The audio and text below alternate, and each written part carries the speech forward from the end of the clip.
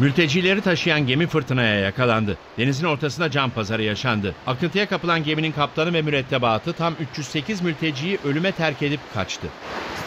308 kişinin gemide olduğu, mürettebatın ve e, kaptanın gemiyi terk ettiği yönünde.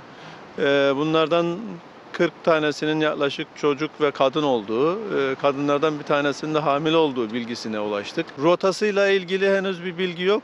Tahmini bilgi söyleyelim. İşte Suriye'den olduğu tahmin ediliyor içerideki mülteciler. Henüz daha net bilgi alamadık. Kuzey Kıbrıs Türk Cumhuriyeti'nde Girne'ye bağlı Esentepe açıklarında mültecileri taşıyan bir gemiden acil yardım çağrısı yapıldı. Kaçak yollardan Suriyeli mültecileri taşıyan gemi fırtına nedeniyle sürüklenmeye başladı. İçinde kadın ve çocukların da bulunduğu 308 kişi vardı. Kaptan ve mürettebat gemiyi terk edip kaçınca mülteciler ölümle burun buruna geldi. Geminin batma tehlikesi vardı. Sahil güvenlik ve sivil savunma ekipleri seferber oldu.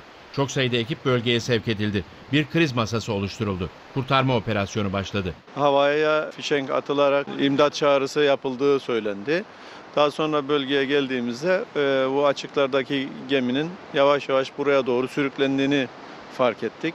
Tabi bu arada e, gerek sivil savunma olsun, sahil güvenlik olsun hemen e, bu alarmı dikkate alarak bölgeye hareket etmişlerdi.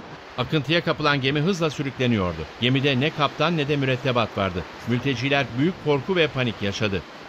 Bekleyiş başladı artık. Yani bu insanlık dramının nasıl sonuçlanacağıyla ilgili. En sonunda e, gemi oraya demirledi ve e, şu anda stabil. Bu büyük bir şans aslında. E, bulunduğumuz bölge kayalık bir bölge ve bir herhangi bir kayalığa çarpmamış olması bu insanlar için de büyük bir şans oldu. Şu anda geminin durumu da stabil devam ediyor.